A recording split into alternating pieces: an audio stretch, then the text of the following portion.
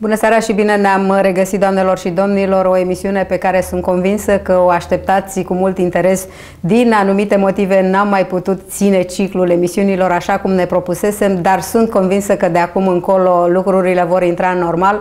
Vă mulțumesc încă de acum pentru înțelegerea dumneavoastră, nu mai pierdem timpul și anunțăm prezența în emisiune a doamnei dr. Florinela Bălan, medic, medicină holistică, pe care o salutăm și îi spunem bun venit. Mulțumesc. Din motive electorale, ca să nu creadă telespectatorii că noi două avem altele. Alte înțelegeri. Da, exact. Uh, mulțumesc pentru că m-ați invitat și că mă găzduiți lunea și nu miercurea, știți, dar important e că bine că mă primiți, fiind între, între atâți politicieni, să facem în seara asta și puțină medicină și o să vorbim un pic uh, ceva mai special, e o temă frumoasă.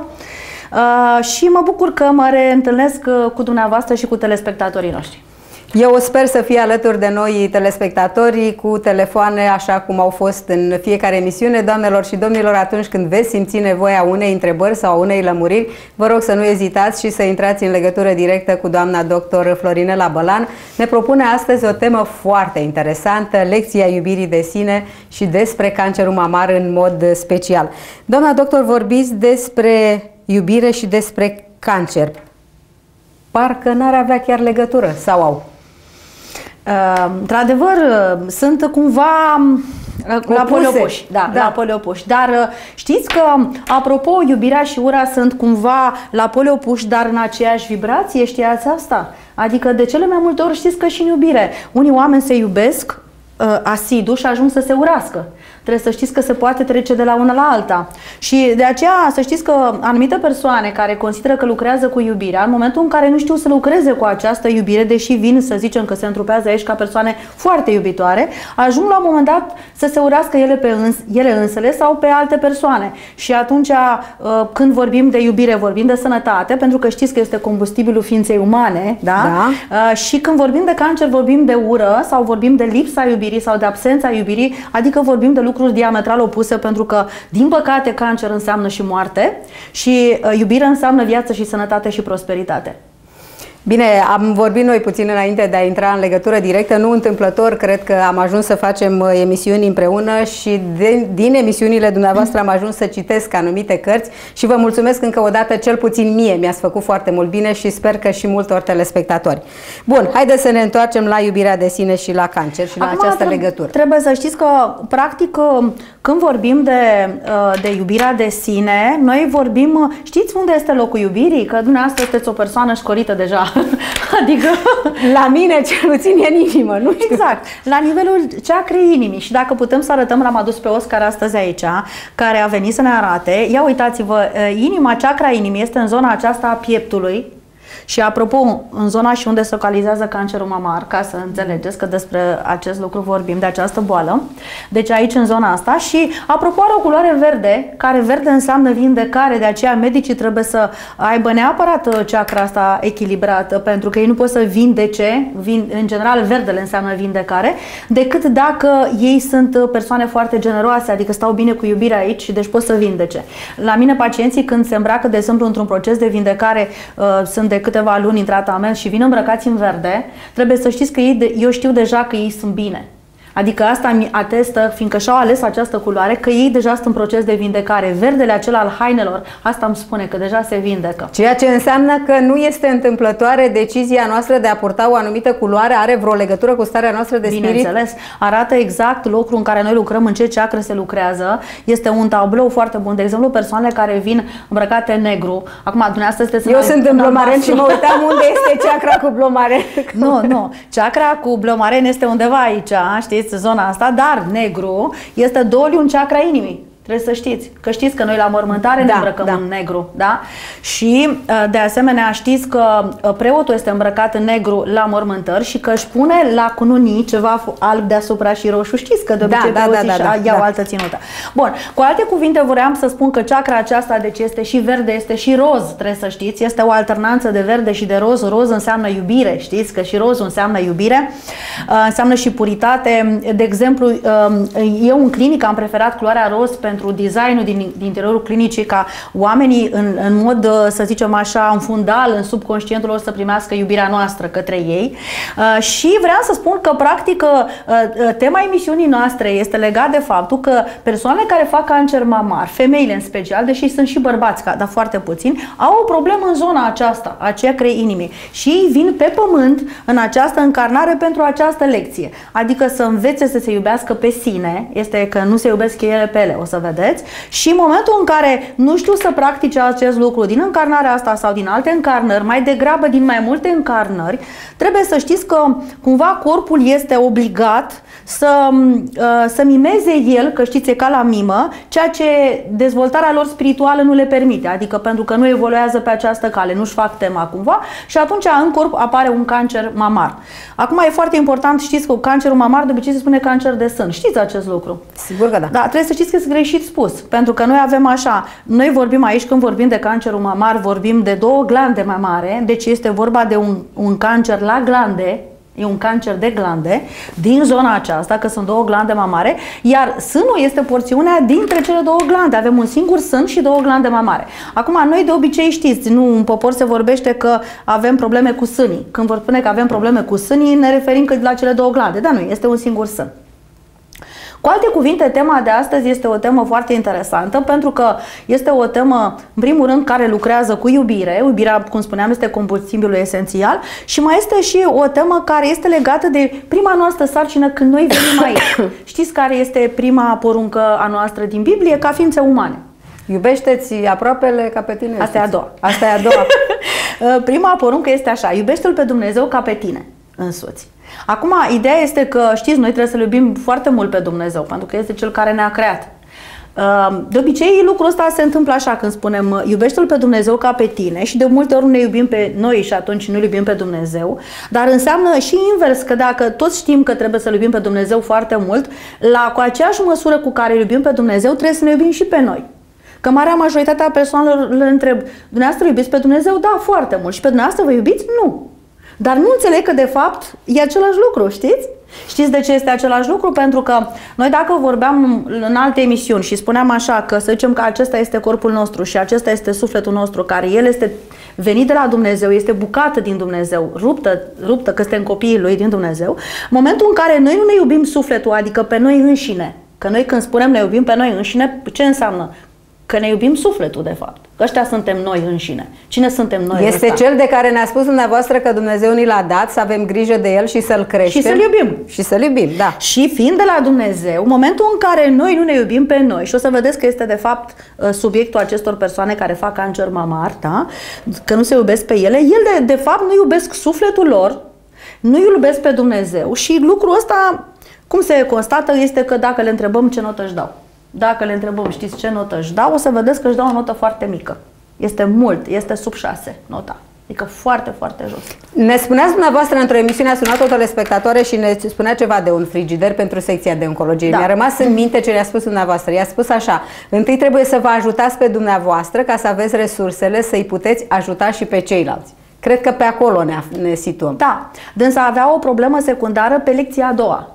La dânsa se era valid lecția a doua și anume că în momentul în care vrei să-i ajuți pe ceilalți, întâi trebuie să tu să te iubești pe tine, să fie plin la tine, da? să fie de 10 și apoi din energia pe care o ai tu, dacă ai mai mult de 10, poți să-i ajuți pe ceilalți.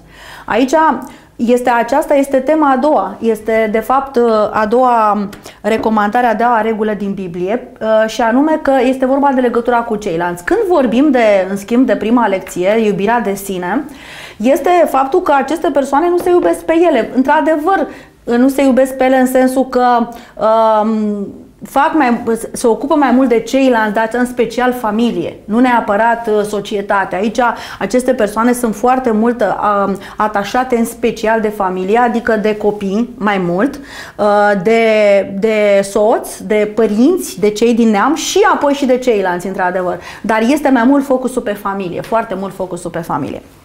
Doamna doctor, e prima dată când vorbim de cancer. Da. De ce ați ales uh, cancerul mamar? Din ce consideră? Da, pentru că o să abordez într-adevăr toate tipurile de cancer, fiindcă fiecare are importanța lui și sunt foarte, din ce în ce mai mult cancer aveți, știți?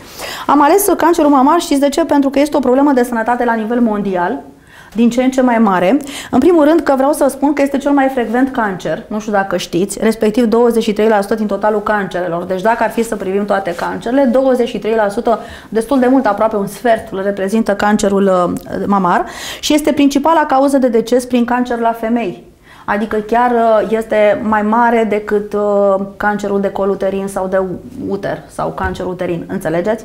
Deci e foarte important. Și de asemenea, pentru că apare o problemă. Uh, eu citesc foarte mult și studiez cum evoluează la nivel mondial, european și în România nivelul de sănătate la nivelul populației. De ce? Fiindcă sunt o persoană care vreau să-mi iau măsuri și să fac educație. Știți că facem educație medicală în fiecare emisiune și am ales astăzi să vorbesc despre cancerul mamar, deoarece trebuie să știți că deși la nivel uh, european, de exemplu, um, sunt mai multe persoane decât în România, femei care fac cancer mamar, mult mai multe decât la noi, totuși la, pe scară largă în Europa s-a reușit prin tratamente și prin uh, tot felul de metode de dezvoltare, metode educaționale, prin screening și planning uh, la acestor persoane, adică investigații făcute în mod Sunt intențional. și programe gratuite, am prin văzut, programe chiar gratuite. și în România. Da, la nivel european s-a reușit o scădere în timp a acestui a incidenței la nivelul cancerului mamar. Pe când în România, trebuie să știți că în uh, ultima jumătate de secol s-a dublat numărul de persoane de sex feminin cu cancer mamar. Deci noi stăm destul de rău. Noi nu stăm deloc bine. Deci noi suntem într-o creștere a cancerului mamar, deși alții la nivel uh, internațional au, reuș- au recorduri pe această temă, noi stăm de, destul de prost. Și eu am ales astăzi această emisiune. De ce? Pentru că din punctul meu de vedere um, e foarte important să știm că e în creștere și de să fim în alertă, medici și pacienți, femei, pentru acest lucru și pentru că e foarte important, um, uh, cum să zic, uh, să abordăm această problemă, că din punctul meu de vedere știți că se abordează decât alopat această problemă. În seara asta cred că sunt primul medic de medicină holistică care, pentru telespectatorii dumneavoastră, abordez uh, și partea holistică, adică care este cauza acestei afecțiuni. Pentru că trebuie să știți că atâta timp când nu știm cauza, nu putem vorbi despre vindecare. Acum, ce vreau să spun este așa că Practic, este foarte important să vedem că cauza în această, în această afecțiune este și psihoemoțională și este mai ales sufletească. De cele mai multe ori, fiindcă sunt nevoită să dau tot felul de teste, ca orice medic, ca să pot să profesez, nu știu dacă știți că noi suntem obligați, fiecare medic, să se autodezvolte, adică să studieze foarte mult, să dau teste periodice. Eu sunt obligată pentru că prin natura situației, fiind medie de medicină holistică și făcând atâtea uh, sute de emisiuni, uh, totuși sunt nevoită să dau aceste teste, fiindcă fac cercetare în domeniul holistic, sunt nevoită să dau teste în domeniul alopat. Adică trebuie să dau teste de medicină obișnuită alopată, deși nu mai practică acest lucru.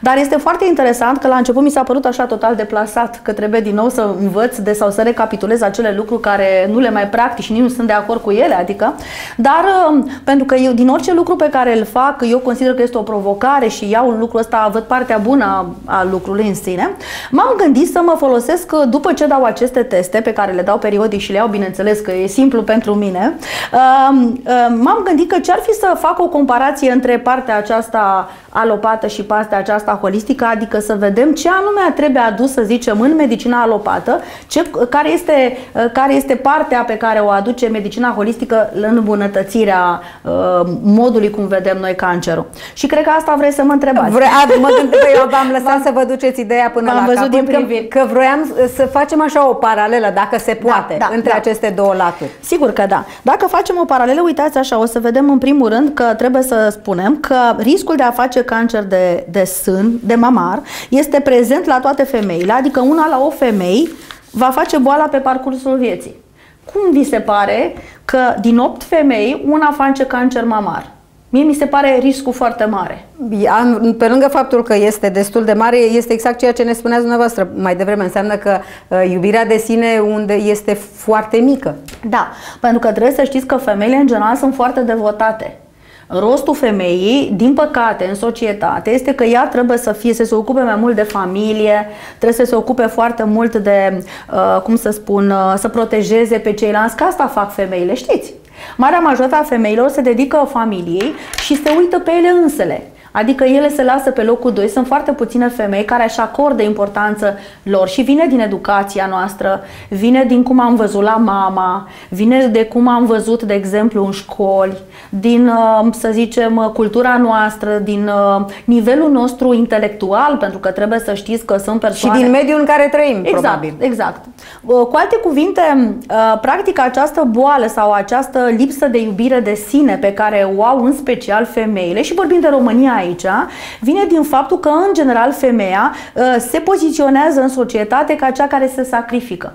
Acum, um, că ea, știți, de cele mai multe ori femeile așa spun că eu am, de exemplu, foarte multe persoane care au hipotiroidism femei și le spun, doamnă, dar de ce aveți hipotiroidism? Pentru că înseamnă că dumneavoastră nu sunteți liber exprimată, nu spuneți ceea ce simțiți. Păi zice, da, cu soțul, că știți că soțul, bărbații sunt bărbați, așa, și eu tac, ce înghit acolo, ce să zic, dacă mai bine mai tac, știți, ca idee. Acum, problema este că în momentul în care uh, dânsa taci nu se... și taci mâine și taci păi Exact. Mine... Nu se exprimă foarte mult și nu, nu se, se pune și pe dânsa în valoare, adică să se iubească de fapt.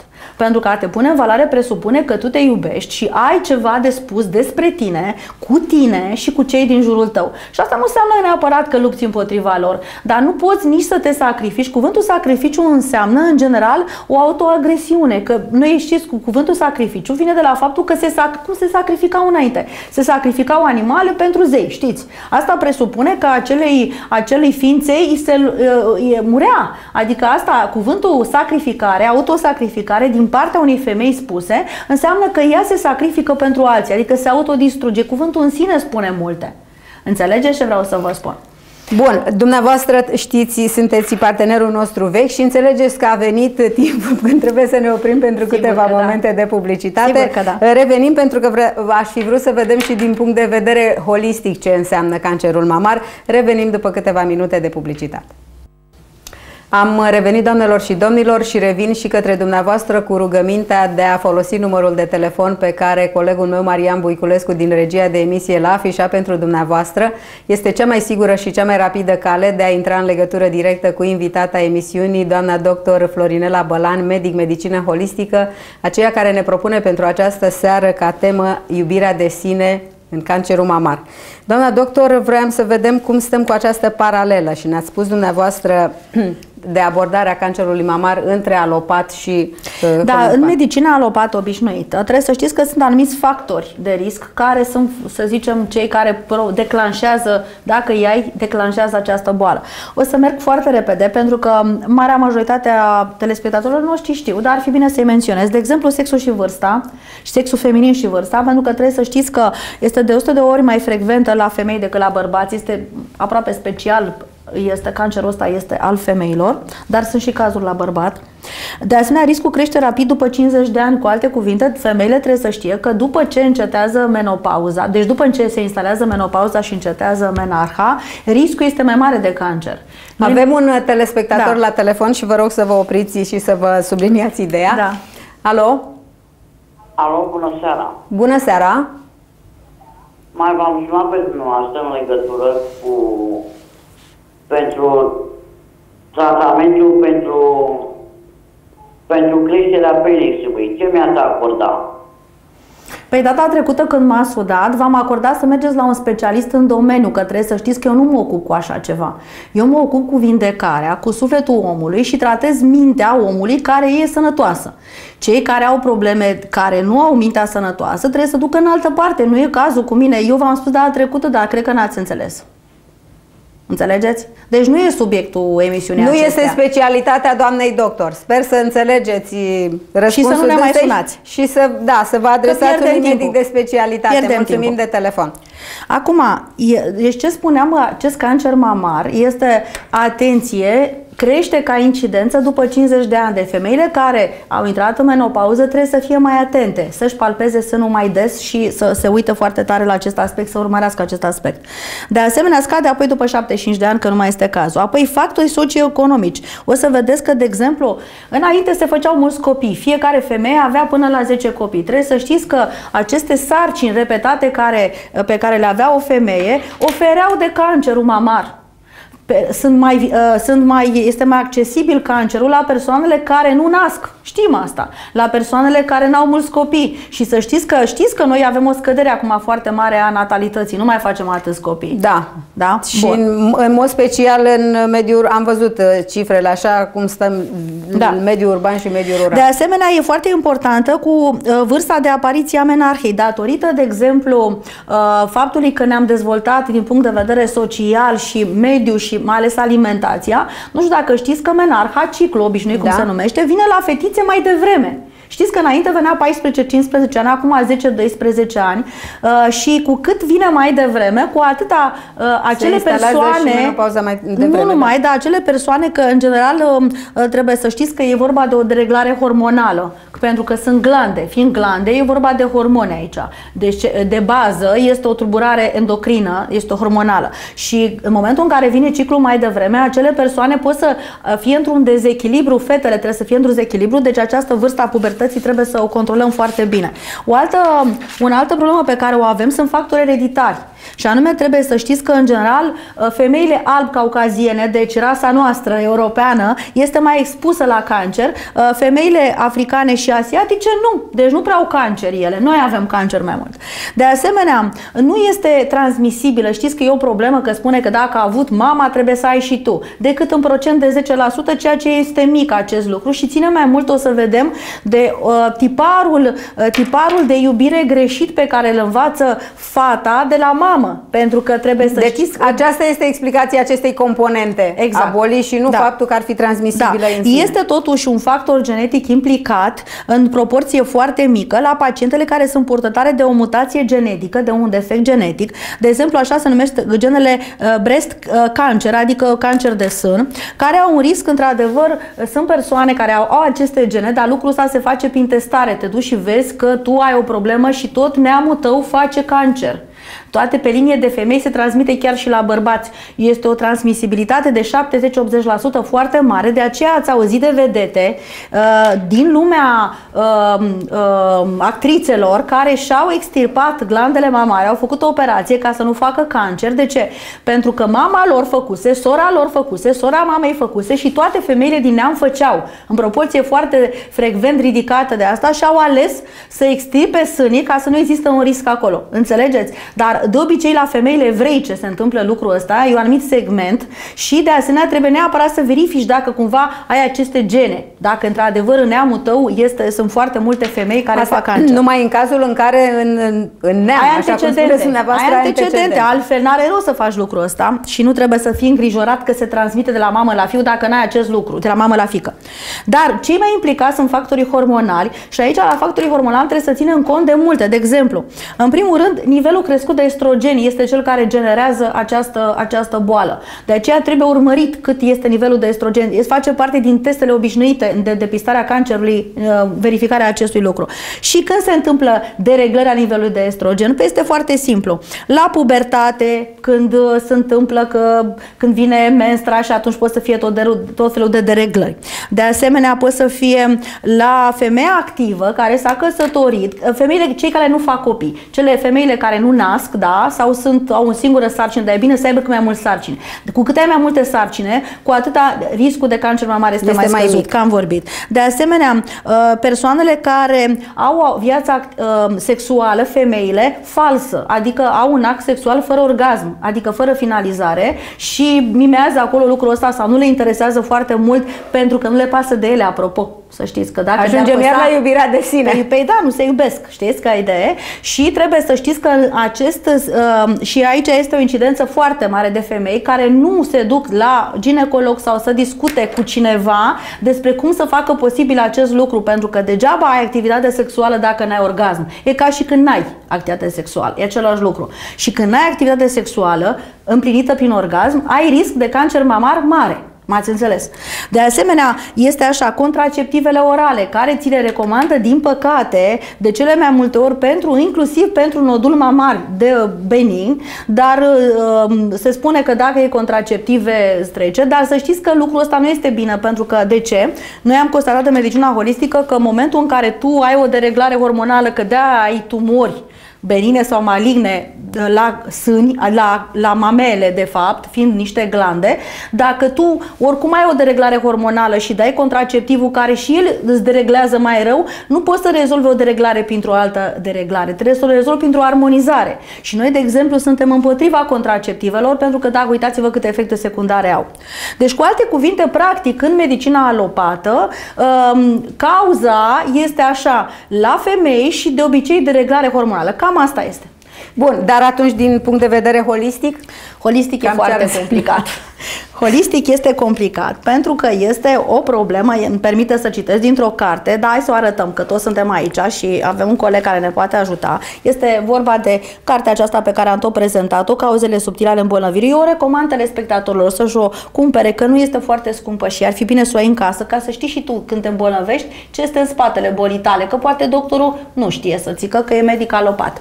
Bun, și uitați așa, spune, la cancerul de sân, spune, sânii reprezintă feminitatea și maternitatea și, în general, aceste atitudini de lipsă de iubire de sine, că de fapt asta înseamnă, și gânduri profund îndrădăcinate, din frage de copilărie de la 12-15 ani, de obicei, e un tipar al mamei. Dacă mama are o dereglare, cum vede, cum se vede ea, de exemplu, este genul de femeie care se sacrifică. Și, de exemplu, să vă spun, sunt mai mulți frați și tu ești singura soră, copil, fată, și ei lanți băieți și spune, tu mamă, ești femeie, ești fată, tu lasă-i pe ei, că ei, lasă-te tu pe tine pe ei, hai să le dăm lor.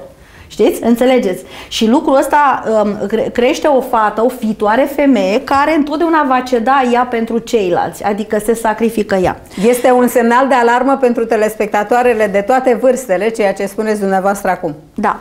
De asemenea, uitați, ce stă la baza acestui uh, cancer de uh, mamar stă sentimentul de culpabilitate interioară, ca și când tu nu reușești, te simți la un moment dat că ești uh, făcută ca să-i servești pe ceilalți și nu pe tine și la un moment dat nu reușești tu să-i servești cum ai vrea tu și mai te simți și vinovată pe deasupra. Adică în plus că de fapt nu reușești, ai vrea și mai mult să te sacrifici. Adică acest sentiment al sacrificiului, pe măsură ce îl faci, crește și mai mult, e din ce în ce mai mult. Ca și când te simți tu vinovată pentru tot ce se întâmplă în jur că nu este bine. Cu ceilalți tu te simți vinovată. De asemenea, ă, acest, ă, această abordare, acest mod greșit de a gândi, pentru că e un mod greșit acest lucru, spune așa, mă determină în cazul respectivei să mă resping și accentuează teama de a fi respinsă de ceilalți, că ă, tiparul este că eu le dau iubire și grijă, că altfel nu mă iubesc. Că așa învață, știți, la un moment dat. Bun, și acum, emoțiile acestea negative de lipsă de iubire, de lipsă de afecțiune, de lipsă de grijă față de tine, vor fi evacuate la nivelul sânilor. Deci pe aici ies aceste emoții și ele devin simbolul eșecului, a faptului că tu nu reușești să fii, să te sacrifici până la capăt. De parcă ai, ar trebui și mai mult decât atât și așa e în exces. Înțelegeți? Cancerul de sân deci ajută de fapt să, ne ajută să conștientizăm faptul că se trăiește o situație conflictuală în tine, în care tu mereu alegi pe ceilalți în locul tău, știți? Adică și uh, față de uh, mine însă și fiind legată de un element care face parte din spațiul meu vital, din cuibul meu, pentru că ia uitați-vă, ce reprezintă cancerul sânul la sân. Ce e sânul? Sânul este locul cel mai important pentru tine, adică e cuibul tău, este tu, un, e cel mai... E cel zona, mai, e cel zona mai unde strângem la piept. Da, dar este cel mai intim loc al tău. Gândiți-vă la femei și la bărbați. Bărbații iubesc foarte mult sânii femeilor, Știți și asta. copiii. Și copiii iubesc sânii femeilor. Știți de ce? Pentru că este asociat cu căldura, cu iubirea. Știți? Este asociat cu lucrul ăla de foarte multă protecție, de feminitate, de maternitate Cam asta arată. De aia le plac bărbaților sânii mari la femei. Pentru că femeile cu cât au sânii mai mari sunt mai iubitoare. Femeile care nu au sânii foarte mari, au sunt foarte mici, sunt persoane care nu sunt așa iubitoare, se spune. Sunt mai, uh, așa știți, înțelegeți.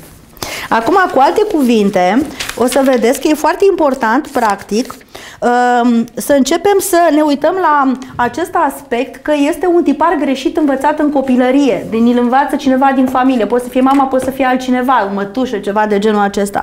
Și bărbații, știți că și bărbații au cancer mamar, dar foarte puțin. Și la ei vine altceva. Uh, cancerul când apare la un bărbat, înseamnă că el nu știe să lucreze cu partea lui feminină, că să nu reprezintă partea lui feminină, înțelegeți? Și cu alte cuvinte, el este un bărbat care are la fel protecție, încearcă să facă același lucru lucru, deși este bărbat, probabil are viața anterioară în care a fost femeie și lecția lui este să învețe să se iubească ca femeie, că nu știe. Deși, ca bărbat, pardon, deși este bărbat, se comportă ca o femeie. Adică este grijuliu și atent cu toți, că sunt bărbați Da, care fac sunt. asta. Și pot să facă cancer de, de sân și ei. Și există Dacă vreau O să... diferență? Da, asta vreau să vă întreb. Există o diferență între... Sau se poate face cancer la sânul stâng și la sânul Și drept? ce semnificație are? Exist, a, da. Poți să ai așa, poți să ai cancer numai la sânul stâng sau numai la sânul drept sau la ambii. Știți că de există și cu, apropo, când ai la ambii, este din ce în ce mai grav, adică este un factor de agresivitate foarte mare. Da, hai să vedem uh, situațiile.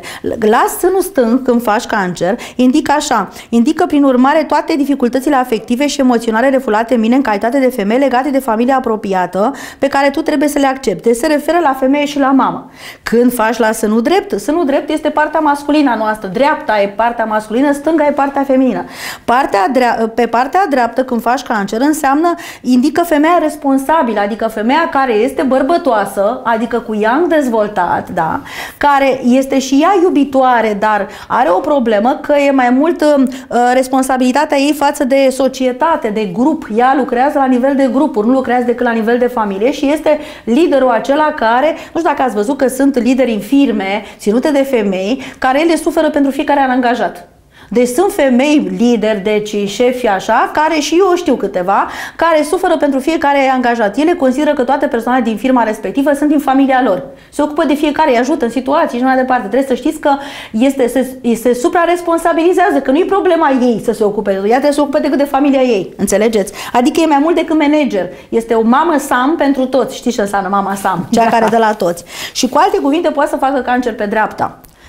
Cam așa ar arăta. În medicina holistică lucrurile sunt un pic mai complexe pentru că noi trebuie să începem să lucrăm la mai mult decât atâta, trebuie să începem să lucrăm la uh, ce semnifică acest lucru și să învingem acest tipar greșit de lipsă de iubire de sine, uh, conștientizând că în momentul în care nu ne iubim pe noi înșine, noi de fapt nu ne iubim sufletul din noi și că nu, fi- nefiind al nostru, facem o mare, e o mare blasfemie pentru că de fapt ce facem este să, că ne permitem în, uh, să zicem, în uh, indecența noastră sufletească să nu iubim sufletul care este al lui Dumnezeu, pe care l-am primit cadou, care este în dar, este în custodie la noi și noi ne permitem să-l agresăm neiubindu-l. Este ce ne spuneați dumneavoastră într-o emisiune anterioară, dacă rețin eu foarte bine, dacă ne iubim pe noi, putem să iubim și pe cei din jurul nostru. În momentul în care Da. nu... Vedeți cum- ne este dat voie să iubim. când, cum se apropie și cum se leagă lucrurile așa de la Exact. o emisiune la alta. Exact. Doamna doctor, da, uh, cuvântul acesta sau diagnosticul acesta de cancer îngrozește pe toată lumea și cred că în mod special și în mod, sau pentru că ne-am propus noi să vorbim despre cancerul mamar în această seară, uh, mai mult uh, femeile. Uh, Emoțional, din punct de vedere sufletesc, așa cred că e șocul foarte Da, în puternic. momentul în care primești orice, orice, orice persoană, dar mai ales ca femeie care ești mai sensibilă, știți, totuși femeile sunt mai sensibile. Dacă tu primești diagnosticul ăsta în față și de cele mai multe ori poate nici medicul nu știe să ți-l spună, știți, în primul rând să ți-l, să ți-l dea, pentru că totuși este necesar să ți-l dea.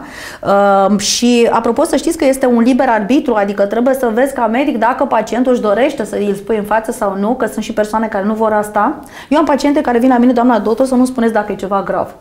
Da, zic, de, da, de ce nu vreți să știți? Nu vreau să știu. de- um, Nu, n-am venit la doctor de foarte mult timp pentru că nu vreau să aud ceva grav despre Să mine. știți că sunt foarte multe persoane Da, de exact. acest gen. Și atunci zic, ok, și cum să vă fac bine?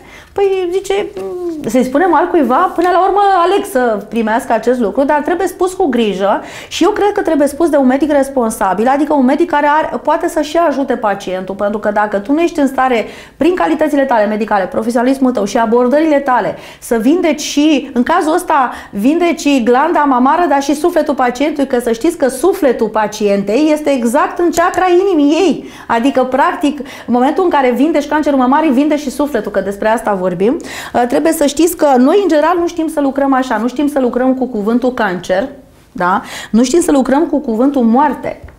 Pentru că fenomenul morții este o problemă pe care medicina nu a rezolvat-o. Uh, Medicul nu vorbește în cabinet nici despre suflet, medic obișnuit, nici despre Dumnezeu și nici despre moarte. Și dacă am uh, cunoaște sensul da, sau ce ascunde dincolo, ce se ascunde de, dincolo de acest cuvânt moarte, atunci nici diagnosticul de cancer nu ar fi așa de catastrofal. Pentru că, de fapt, cuvântul ăsta cancer ne agresează foarte mult din punct de vedere emoțional și produce o deznădejde, o dramă în sufletul nostru, pentru că noi nu suntem încă pregătiți pentru cuvântul ăsta moarte sau n-am înțeles ce este cu această moarte. Și atunci, unul din lucrurile uh, pe care uh, trebuie să începem să le privim este că nu avem educația spirituală la nivel de societate de a putea să discutăm despre aceste subiecte. Noi ne-am dezvoltat foarte mult minte, avem școli, avem grădinițe, avem licee, avem facultăți despre minte și nu avem niciun fel de uh, locuri, nu avem niciun fel de grupuri educaționale pentru a vorbi despre suflet în afara bisericii. Uh, dar ar trebui să avem terapii despre suflet, ar trebui să avem lăcașuri despre dezvoltare spirituală și uh, în, într-un mod, uh, să zicem, ca în biserică, în care să le țină un preot, să le vorbească, dar și într-un mod în care și alte persoane, cum este un psiholog, cum este un medic de medicină holistică, să vorbească despre partea asta la cei care nu pot să, se, nu pot să audă cuvintele uh, bisericii, cuvintele preotului și poate să audă altfel de cuvinte, tot despre Dumnezeu, tot despre moarte, dar într-o explicație mai științifică, poate, sau într-o explicație în care mintea lor să poată, prin mintea lor să le poată primi și sufletul lor. Înțelegeți ce vreau să vă spun? Și aici aș vrea să arăt încă o carte, dacă se poate, în care o să citesc câte ceva despre ce înseamnă cancerul și nu mă refer numai la cancerul mamar, mă refer la orice fel de cancer. Boala ca simbol, știți, am tot uh, uh, prezentat-o. Ia uitați, în această uh, carte în care spune așa uh, despre cancer și simbolul cancerului, uitați ce înseamnă cancerul. Cancerul înseamnă așa, problemă la nivelul sistemului imunitar, pentru că o să vedeți că asta este autoîmbolnăvire, autoagresiune, agresivitate interioară. Asta înseamnă cancerul. Adică, de fapt, cancerul ne-l facem cam noi. Deci nu e nimeni responsabil de faptul că noi avem cancer în corp decât noi înșine. Ce înseamnă cancer? Înseamnă și neoplasm, că știți că este cuvântul științific. Dar neo vine de la a crește ceva nou. Că asta înseamnă. A plezmui ceva nou. Deci e o nou, ceva nou. Se formează, e o creștere nepotrivită în schimb, pentru că este o energie negativă. Apare sentimente de obicei, de obicei cea puiu care duce la formarea celor canceroase. Celule canceroase se formează tot timpul în corpul nostru. Dacă sistemul imunitar este ok, el le distruge, că sunt celule canceroase sunt un fel de rebuturi de celule. E ca și când într-o fabrică faci pe bandă niște celule, ăsta e tiparul de normal, din când în când le greșești, când nu ești atent să ai o problemă și pe le arunci. Uh, asta face sistemul imunitar, face triere și le aruncă pe acesta și le distruge. În momentul în care sistemul imunitar are o problemă, da, apropo, sistemul imunitar este condus de cine credeți? De suflet. De sufletul tău are o problemă. Atunci sistemul imunitar, pentru că sufletul tău are o problemă că nu te iubești, el nu mai poate să distrugă aceste celule și a început să crească așa, mormanul de celule de rebuturi. Și la un moment dat este se organizează sub formă de o tumoră, care asta crește din ce în ce mai mult și în loc să mai faci celule normale, faci mereu din astea, stricate, cum ar veni. M-ați înțeles? Deci, practic, e ceva care nu e în regulă. Și acum, poate să fie un sentiment de vinovăție acolo, care stă la bază, față de sine însuși, trăiri de șoc șocuri, că pot să fie după șocuri foarte mari, da? dureri sufletești, ce blochează forțele proprii de apărare, devenind declanșatori ai bolii. Practic, emoțiile Emoțiile pot să ducă foarte tare la dezvoltarea cancerului. Cancerul începe din punct de vedere imunologic, deci după prăbușirea sistemului de apărare și de asemenea, știți, ce, știți că uh, cuvântul uh, uh cancer uh, are, e o, este o zodie a racului. Știți că racul da, înseamnă da, da, cancer. Da. Știți de ce se numește așa? E nu. foarte interesant. Nu. Pentru că, uitați, este exact cum este celula canceroasă. Celula, în loc să fie o celulă bine, să meargă înainte, să progreseze, să dezvoltă, să devidă și așa mai departe, merge înapoi și se întoarce împotriva ei, este scaracul, dă înapoi și și merge prost. Și de aceea se numește, a se învârtește și dă înapoi caracul, de aceea zodia cancer, racului se, se numește, numește cancer, cancer. Pentru că e ceva ce dai înapoi. Este o degenerare, este o abatere de la calea primordială, este o abatere de la linia de evoluție. Deci nu mai evoluezi normal să te divizi și să faci, te dezvolți în niște celule, apropo celule canceroase se divide nu știu câte ori mai mult deci și este mai repede, o da. dezvoltare da. rapidă și de asemenea, practic este o abatere de la linia ta, de la tema ta a vieții. Tu ai venit pe pământ aici în încarnarea asta cu o temă, cu o misiune, este a cincea noastră dimensiune. Și noi nu, nu-ți faci tema, de asta apare cancerul. Că este, deci, practic, persoanele cu cancer sunt persoane care au tema eșuată, tema vieții, misiunea vieții. Poate facem o emisiune despre misiunea vieții. Cancerul, deci, înfăptuiește la nivel corporal Adică face el ceea ce ar fi trebuit tu să faci la nivel sufletesc în domeniul conștientului. Deci dacă tu nu vrei, te încăpățânești să dezvolți din punct de vedere al sufletului, a conștiinței tale, atunci este obligat cancerul să facă lucru, corpul tău face acest lucru ca să te avertizeze până la urmă, chiar cu moarte, da? că tu trebuie să evoluezi spiritual pentru că este singura scalea ta de evoluție. Practic este o preia sarcina sufletului, cu alte cuvinte. Și noi îi lăsăm să preia da. sarcina până după publicitate, pentru că vreau să vedem, mai am câteva lucruri de întrebat, dar Sigur cred că, că da. mai avem și spațiu. Publicitate revenim. Am revenit, doamnelor și domnilor, doamna doctor Florinela Bălan, medic medicină holistică în platoul nostru și în casele dumneavoastră și numărul de telefon care vă așteaptă pentru a adresa întrebări, pentru a vă lămuri anumite aspecte cu ajutorul invitatei noastre. Vorbeam despre modul cum ar trebui să primească un bolnav de cancer sau o femeie, pentru că ne-am referit la cancerul mamar, această veste. Mai avem altceva care trebuie să știm? Nu, este important, sigur că da. Sunt multe pe care trebuie să le știm, ca de exemplu, e foarte important ce se întâmplă când primim această veste. Când primim această veste, care până la urmă ce este vestea asta? Este o informare a faptului că noi avem un conflict interior la nivelul uh, noi cu noi, că de fapt asta este cancerul mamar și acest lucru nu ar trebui să ne sperie, că într-adevăr la ora asta cancerul nu este o boală rezolvabilă 100%. Din păcate, în medicină, la ora asta, cancerul este, uh, are uh, vindecări aleatorii, adică unii se vindecă și unii nu. Și lucrul ăsta, uh, și, și când nu se vindecă, duce la moarte, dar că lucrul acesta depinde de foarte multe situații, de la caz la caz. Depinde de când s-a diagnosticat și cât de repede și cât prematur s-a diagnosticat pacientul respectiv. Depinde foarte mult de capacitatea medicului, de calitățile profesionale ale medicului de a conduce mai departe un caz depistat da, o să vedeți. Uh, contează foarte mult de a se depista cauza bolii, că dacă nu depistezi cauza bolii, o să vedeți în medicina alopată, apropo de acest lucru că v-am spus că dau teste așa, în medicina alopată, știți cum se lucrează în cancer în medicina alopată? Se lucrează cu foarte multă agresiune. Adică, de obicei se, uh, se face așa, se urmărește, apare un nodul, că nu știi sigur dacă este cancer, este o tumoare benignă. Tumoarea benignă de obicei este văzută, uh, uh, se recomandă să te palpezi tot timpul, știți că asta e prin da. cea mai bună metodă, să vezi permanent dacă apare o problemă. Când apare tumora, trebuie să te duci la medic urgent, se face o ecografie de cele mai multe ori, se recomandă și ele elastografie, adică să vezi cum se mișcă tumora, dacă ea este uh, dură, pereții ei sunt duri sau dacă tumora se mișcă împreună cu respirația și atunci nu este un cancer. Deci asta este prima metodă așa mai, uh, să zicem, uh, de investigație, ecografia cu elastografie, după care se recomandă uh, mamografie, că știți că este următoarea investigație și apoi dacă se suspectează că sunt prinși și ganglionii axilari sau ganglionii din jurul glandei mamare, se face RMN și ceva de genul acesta în continuare. Dar, în general, există o formă de agresiune, adică se cam scoate tot. Se cam scoate tumora, se cam scoate, se scot ganglionii, se fac la un moment dat, dacă un singur ganglion este infestat, se scot încă 10 ganglione, adică este o metodă de prevenție, să zicem, poate exagerată, dar vedeți dumneavoastră cum să, cum să răspunzi cu agresiune la o sensibilitate foarte mare. Pentru că noi vorbim de cancerul mamar, că este un cancer a unei persoane care este foarte sensibilă, care ea nu se iubește pe ea, se sacrifică pentru ceilalți, deci aici vorbim de, uh, cum să vă spun, de lipsă de iubire. Și ca să, ca să compensezi o lipsă de iubire, cu ce credeți dumneavoastră că ar trebui să intrăm noi acolo? Cu multă iubire.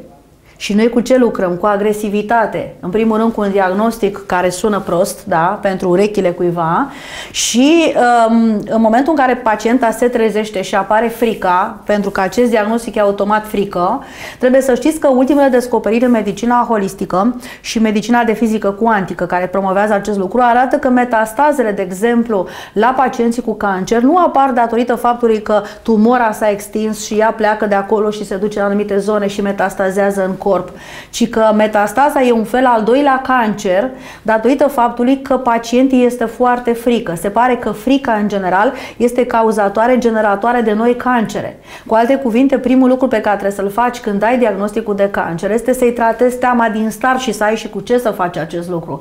Pentru că medicul obișnuit nu tratează acest lucru. În medicina alopată nu sunt uh, medicamente pentru frică decât de tip uh, psihiatric. Înțelegeți?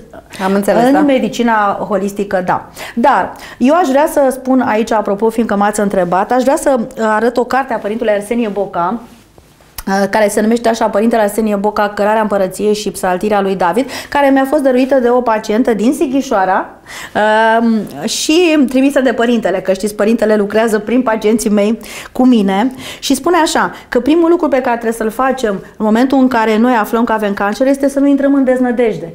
De fapt, acest lucru trebuie să fie. Uitați ce spune părintele. Spune în felul următor, că uh, când tristețea omului ia chipul deznădejdii, acesta nu trebuie să uite că prin intermediul bolii, Dumnezeu ne poate oferi un dar îndoit, deși noi nu vedem acest lucru.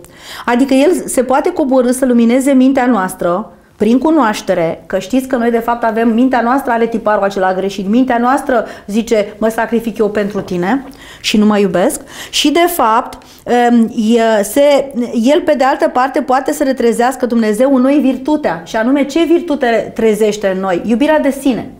Și când vorbim de iubirea de sine, vorbim de iubirea de Dumnezeu. Pentru că trebuie să știți că, de fapt, pacientele care nu se iubesc pe sine, ele, neiubind sinele lor, adică sufletul lor care e al lui Dumnezeu, este ca și când nu iubesc pe Dumnezeu. Și aici este, vorbim de necredință. Cancerul mamar, în final, este un, o expresie în sine a necredinței. Și vedeți, dumneavoastră nu poți să, nu poți să te consideră că ești o persoană sănătoasă și nu poți să și pretinzi că ai grijă de alții dacă tu îl jignești pe Dumnezeu prin această necredință a ta personală, știți? Uh, Părintele Arsenie Boca ne învață că în vremea bolilor și suferințelor este bine să nu îngrămădim gânduri și durere în inimă în toată vremea, ci mai degrabă să înțelegem încercările pe care ne le aduce boala și că fiecare ins are un mesaj de dus și în crucea lui, are ceva de învățat, o lecție. În momentul în care faci cancer mamar, s-a dus lecția ta, nu ți-ai făcut lecția asta, e cancerul mamar, că nu ți-ai făcut, n-ai înțeles lecția. Nici măcar Sau n-ai ai înțeles-o. refuzat să ți-o faci. Sau ai refuzat să ți-o faci, dacă ai mai multe încarnări. Da. Mai tot se roagă la Dumnezeu să-i scape de boală.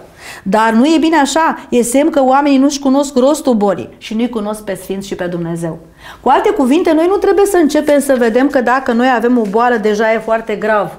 Chiar și de când avem cancer, trebuie să începem să vedem ce înseamnă când ai cancer. Înseamnă așa, că tu ai ajuns într-un moment de răscruce în viața ta, când probabil ai această problemă că nu-ți faci tema, că ești ca un repetent, așa, nici din viața asta și din alte vieți și că este cazul că Dumnezeu și nu numai sufletul tău și conștiința ta a hotărât să te trezească. Adică te cam zguduie așa. Și când te zguduie, pentru că de ce? Ai securea deasupra. Adică ori moarte, ori viață. Trebuie să alegi. Și această alegere ce presupune? Ca tu să renunți la tiparul tău greșit, pe care tu nu-l vezi, că apropo îl văd toți din jurul persoanei, numai persoana nu vede, și să schimbi acest lucru, să faci o transformare la nivelul sufletului și conștiinței tale, că dacă nu o faci, o face corpul pentru tine. Să noiește el într-o energie negativă. Uitați, ia uitați cum în boala ca simbol ce spune. Ar, ar, ar recunoaște cancerul este în recunoașterea necesității de a trece de la nivelul corporal al manifestării simptomelor, adică cancerul, da. la nivelul salvator spiritual sufletesc, să faci un pas către, către evoluție spirituală pentru a începe acolo o creștere expansivă, nu la nivelul tumorii. A, acoperi, a descoperi iubirea care depășește orice graniță față de sine și față de lume. Cu alte cuvinte, trebuie să începem să evoluăm. Și acum, vedeți dumneavoastră, noi credem că în momentul în care avem cancer, că noi nu putem să ne vindecăm, că e foarte greu și că aoleu o să murim. Cam asta este ce gândește orice persoană care îi se dă acest diagnostic.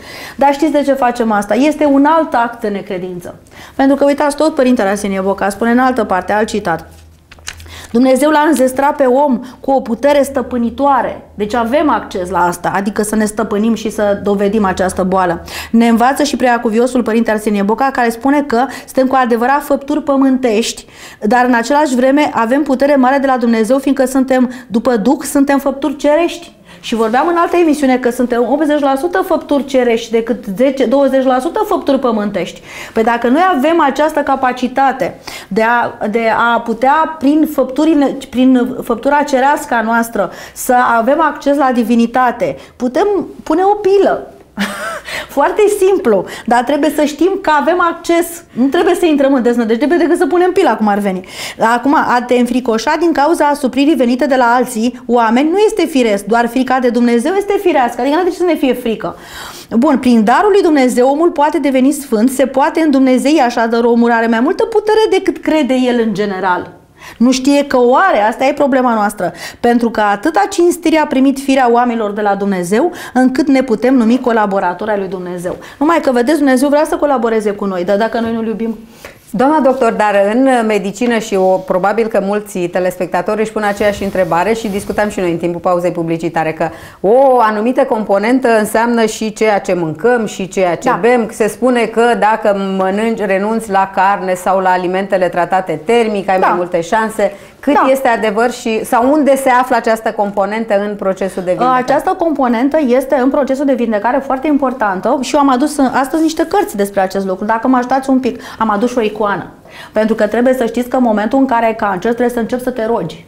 E foarte important acest lucru. Cred că niciodată, ca nicio boală, nu trebuie să te rogi cum te rogi în cancer. De ce? Pentru că uh, cancerul este deja un ultimatum pe care ți s-a dat, adică tu ești o persoană rebelă, cumva, de nu prea să faci temele și atunci ai nevoie de sprijin. Și unde să ceri sprijinul? La Maica Domnului și la Iisus Hristos, că cine, cine te poate vindeca? De acolo trebuie să-ți vină ajutorul. Și de la medică și medicul lucrează tot prin ei, adică el este intermediarul.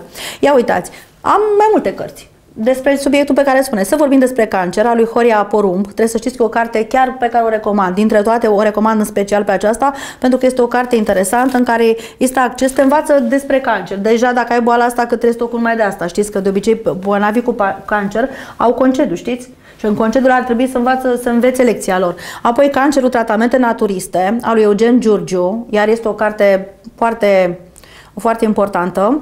Uh, uitați ce spune. Cancerul este una din cele mai grave maladii ale organismului și trebuie tratată cu toată seriozitatea. Cu cât se intervine mai repede, cu atât se poate obține vindecare mai rapidă. Tratamentul naturist se poate asocia în orice fază a bolii, indiferent de localizarea ei și de vârsta pacientului, și cu tratamentul alopat, dar vine doar ca o completare a tratamentului medicamentos, pentru că trebuie să știți că putem să mergem, uh, putem să nu riscăm și să mergem și pe o terapie naturistă și pe o terapie alopată, pentru că de cele mai multe ori sunt situații când cancerul este foarte agresiv agresiv și sunt anumite, că sunt vreo 10-15 feluri de cancer la nivelul sânului, sunt anumite forme foarte agresive, unde nu te poți să joci unde, uh, cu tine, cu viața ta, unde viața ta stă de un fir de, de ață și unde trebuie într-adevăr să faci o extirpare și atunci nu trebuie să te joci. Dar poți în același timp, în toate fazele astea în care, că durează mult până ajungi să ți se extirpe sânul și toate, eu durează aproape un an și ceva, trebuie să știi că poți să lucrezi și la cauză. Ca asta spun eu. Hai să vedem cauza întâi ca să putem să ajutăm foarte mult uh, în medicină.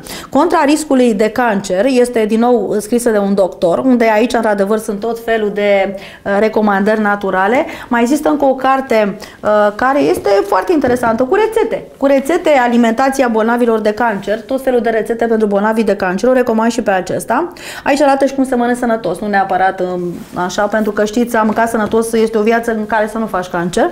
Sunt foarte multe multe cărți ale părintelui Arsenie Boca, respectiv din învățăturile părintelui uh, Fericirea de a cunoaște calea, recomand și de asemenea despre îndumnezeirea omului și prin, prin har în care abordează deznădejdea omului în boală și de asemenea îndrumarul pentru restabilirea sănătății în care îți recomandă niște rugăciuni speciale pe care trebuie să le faci când ești bolnav de cancer. Există, există și sfinți cu care se lucrează în anumite... Să vedem dacă știu, am văzut, știți unde și un izvor și un sfânt exact. în, uh, aici aproape la Meriș ani la șapte izvoare.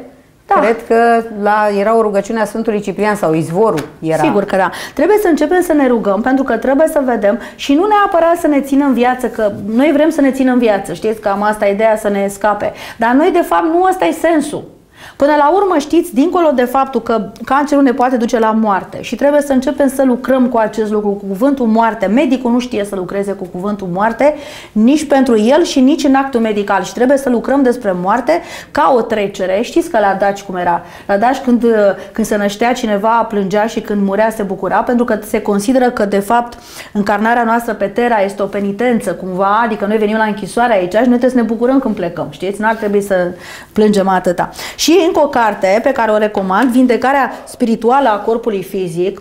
Aici o să dau câte ceva, câteva citate de aici din carte, asta e interesantă, pentru că asta spun. Este, dumneavoastră a spus și ați, ați remarcat foarte bine, este bine să mâncăm diferit, este bine să avem un regim de viață diferit, este bine, dar aceste lucruri sunt foarte bune, ele ne ajută pe noi să ne vindecăm, dar nu, este, nu sunt cauzatoare pentru cancer. Noi trebuie să facem distinție de unde pleacă boala și ce ne ajută pe noi în această boală. Tratamentul este o chestie foarte bună că ne ajută în această boală, dar trebuie să știți că nu este la ora asta salvator și nu este vindecător. De unde știm? Pentru că încă n-am eradicat cancerul. Încă mor bolnav pentru cancer, deși nu mai mănâncă carne sau țin regimul 100%. Cred că mai avem vreo 5 minute și nu vreau să încheiem până când nu ne spuneți cum putem să, și să reducem riscul de cancer. Da, uitați, trebuie să începem să lucrăm la cauză, pentru că n-aș vrea să uh, vorbesc astăzi mult despre regimul alimentar, deși pot să vorbesc ore întregi despre ce trebuie să facem ca dietă în cancer. Însă acest, aceste lucruri mi se par cunoscute. Există cărți pentru asta. Eu ar vrea să vorbesc astăzi, pe cât am mai rămas, despre ce nu știu oamenii despre cancerul mamar și femeile, pentru că asta e trebuie ce să aducem. Noutatea. Noutatea este cauzalitatea de fapt. Și cauzalitatea este că noi trebuie să începem să ne iubim, nu trebuie să ne sacrificăm, trebuie să înțelegem că noi ca femei și ca mame trebuie să ne respectăm, pentru că în momentul în care ne respectăm pe noi înșine, stima noastră de față de sine înseamnă nota noastră pe care mi-o dau, ne-o dăm noi nouă și nota pe care ne-o dăm noi nouă când ne iubim, de fapt este iubirea noastră față de divinitate. Și asta este primul lucru pe care trebuie să le facem noi. După ce noi am făcut acest lucru, adică ne iubim pe noi mult, dar mult de tot, din iubirea noastră, cu măsură, putem să-i ajutăm pe ceilalți. Asta este sensul. Și uitați, din această carte, aș vrea să citesc un pic, e foarte interesant. Uitați ce spune. Acceptarea de sine, adică tu pe tine să te iubești așa cum ești, este refuzul meu de a mă afla într-o situație de adversar cu mine însumi. Pentru că să știți, cancerul mamar, asta înseamnă că tu ai dat risit Uh, corpului tău. Deci în momentul în care tu ți-ai declanșat un uh, cancer în corp pentru că sistemul tău imunitar nu mai funcționează pentru că el este afectat de sufletul tău că nu ți-l mai iubești. Cu alte cuvinte, nu mai coordonat, trebuie să știi că tu de fapt devii adversarul tău tu de fapt te autodistrugi, ceea ce nu e ok, pentru că nu în situația asta am venit, noi am venit aici pe Terra să ne iubim, să iubim pe Dumnezeu iubindu-ne pe noi și să, uh, să fim în situația în care să lucrăm pentru viață.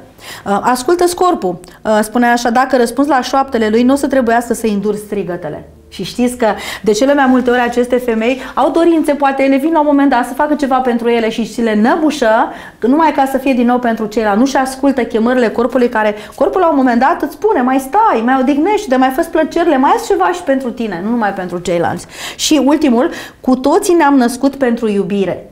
Aceasta este principiul uh, existenței și singurul ei scop. Înțelegeți?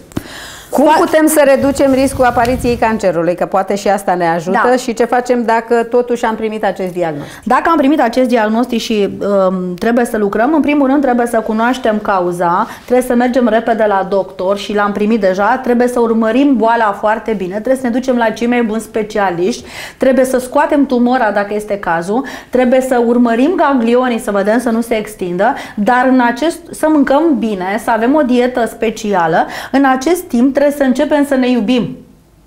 Că ăsta este lucru pe care nu-l spune nimeni. Trebuie să începem să ne schimbăm, să ne vedem că toată viața ne-am gândit prost. Toată viața noastră am funcționat după un tipar prost. Am funcționat după un, un tipar de prea mult devotament. De un tipar în care noi nu ne-am acordat timp, intimitate, iubire, afecțiune nouă. Și din momentul acela, dacă, chiar dacă tu începi să schimbi acest lucru și modifici acest tipar, două lucruri se poate întâmpla. Ca tu să oprești boala, pentru că numai tu poți să oprești. Trebuie să înțelegeți. Numai tu poți să oprești boala și doi la mână, chiar dacă mori, să zicem că nu poți să oprești boala, tu ai făcut un salt în fața lui Dumnezeu, începând să repare această greșeală a ta și se consideră că și dacă mori, tot ai făcut saltul, că ai conștientizat-o și de fapt ți-ai făcut misiunea, chiar dacă în final ajungi să mori. Înțelegeți? Și acum, între a muri așa ca fraierul, fără să-ți faci măcar tema că tot mori, și a muri măcar cu tema făcută, e o mare diferență, dacă tot e până la urmă să mori. Măcar să știi de ce mori și să faci un salt ca moartea ta să semnifice ceva și să fie poate ultima ta temă în această lume, pe această problemă, să poți și tu ca nivel spiritual să te ocupi de alte teme. Că poate sunt persoane care au 100 încarnări pe tema asta și nu înțeleg nimic din asta. Înțelegeți? Cum abordează medicina holistică? Medicina holistică lucrează foarte științific în acest lucru, în sensul că lucrează la cauzalitate foarte mult, dar lucrează foarte mult cu aparatură, că dumneavoastră știți că ne folosim aparatură și folosim așa, preparate de acupunctură lichidă care lucrează pe meridiane. Deci noi avem un meridian aici, aș vrea să-l arăt, acest meridian care este al inimii, Ia uitați-l că l-avem aici la îndemână, acesta, vedeți de unde vine de exact de la sân, dacă observați. E meridianul inimii și mai este și meridianul pericardului, următorul nu l-am eu aici, care el vine în al doilea Aici deget avem aici. mâna stângă, dacă avem inima, da? Sigur că da, dar să știți că în uh, acupunctură sunt două meridiane stâng și drept, chiar dacă avem o singură inimă. Deci eu am două meridiane ale inimii și o singură inimă.